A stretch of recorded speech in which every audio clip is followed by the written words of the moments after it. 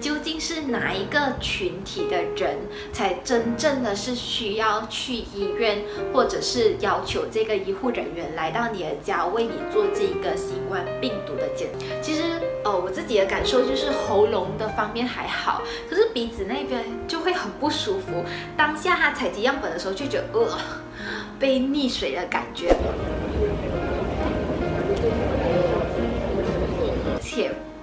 我回家后还是会觉得鼻子很不舒服啊，好好像还是有东西卡在那边。直到大概一个小时左右吧，你到底需不需要去做这个新冠病毒检测的？接下来呢，就要和大家分享一个非常有用的网站。Hello，大家好，我是丽婷，欢迎回到我的频道。今天要和大家分享关于我进行 COVID swab test，也就是新冠病毒检测的整个过程。本来呢是没有想要打算拍影片的，不过家乡的朋友还有一些长辈呢对这个过程似乎有一点感兴趣，所以今天就拍了这支影片。如果你是第一次来到这个频道呢，欢迎大家订阅还有按赞哦。三二一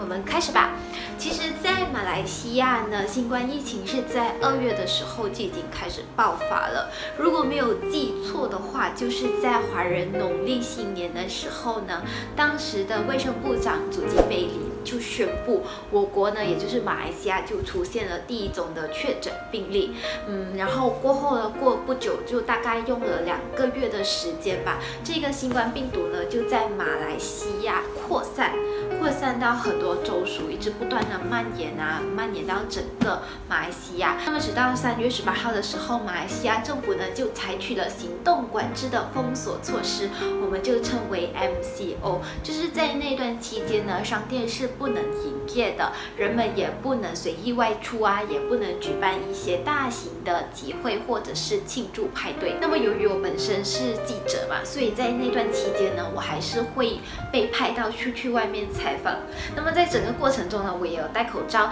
不过我还有跟受访者拿这个联络号码，in case 我自己发生什么事情的话呢，我也是可以打电话给他，hello，你可以隔离了。这样子。那直到有一天的时候呢，我就觉得自己的身体好像有一点点不舒服哦，然后有一点发烧，然后还有一点点呼吸困难，那时候我就非常害怕哦。我就去了公司的诊所去看病。那时候呢，医生是跟我讲，那时候是在三月份的时候，他就跟我讲，只能去政府医院才能做这个新冠病毒的检测。那如果你不是接触确诊患者，又或者你是啊，你不是出席那个有确诊患者去过的集会的话话呢，基本上这个政府医院是不会帮你做这个新冠病毒检测的，因为。他们也要节省这个资源，那个是当时三月份的时候医生跟我讲的哦。然后最后啊，我也没有办法，我就服用了这个退烧药。过几天呢，嘿啊！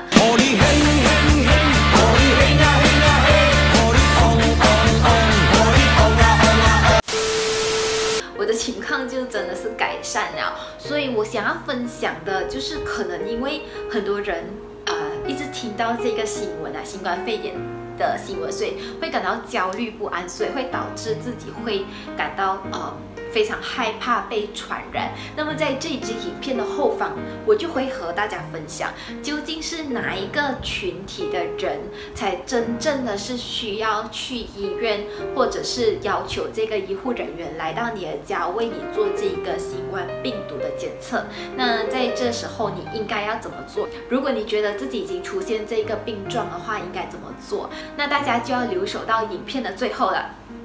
接下来呢，我就要和大家分享我接受这个新冠病毒检测的过程。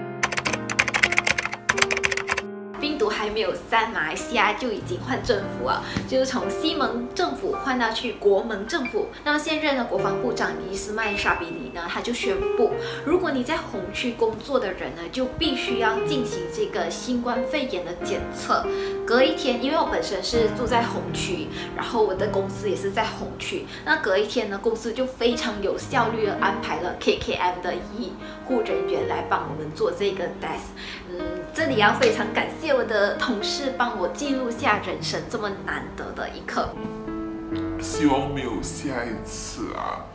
因为毕竟这个 test 呃是可以确保你没有中 COVID，可是那个过程真的是很。辛苦，一开始的时候我们就先拿我们的 IC 出来登记这个资料，然后我坐在我坐下去椅子的那一刻呢，其实我的头脑是已经懵了，我不知道是要先开嘴巴好哎，还是要做什么。不过无论是不是无论是开嘴巴还是鼻子的，其实我都非常建议大家可以把你的头啊。就倾斜大概二三十度左右吧，因为这样呢，其实可以方便那个医护人员在采集你的样本的时候呢，会比较容易，他不至于用那个 cotton 的那个一支的那个棉花棒，就很难啊。如果你没有这样子的话，就很难检测到那个样本。其实，呃，我自己的感受就是喉咙的方面还好，可是鼻子那边就会很不舒服。当下他采集样本的时候，就觉得呃。被溺水的感觉。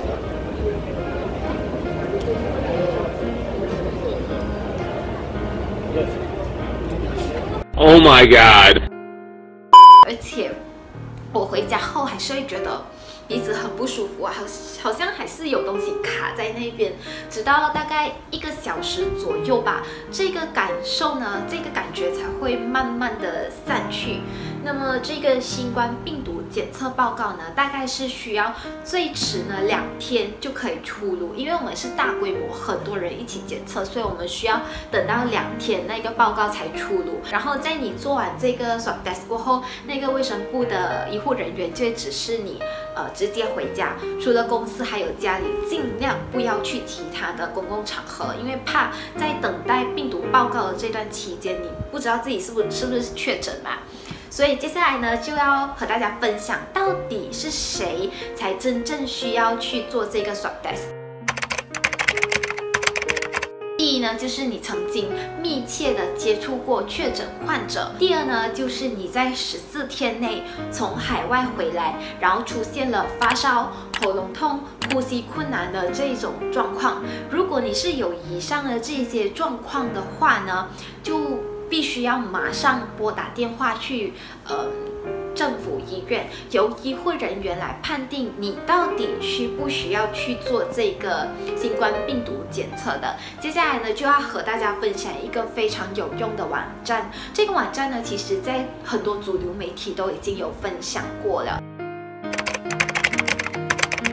如果呢，你只是出现一些轻微的状况，然后就好像我之前这样不确定自己是不是受到感染的话，那么我非常建议大家可以去到卫生部的专科线上门诊服务去那边查询。这个网站呢，其实是非常方便的，我会把这个网站的链接放在影片底方，大家可以去看看。当大家登录这个专科线上门诊服务的网站过后，可以看到右上角可以设置一个英。文或者是国文，在这个网站呢，大家还可以咨询能够进行新冠病毒检测的医院名单，还有一些电话号码。此外呢，这个网站非常特别的就是它还有一个 Ask Doctor 以及 Assess Your Risk 的这个功能，就你只需要回答几个简单的问题，然后这个分析报告就会寄到你填写的 email 里面。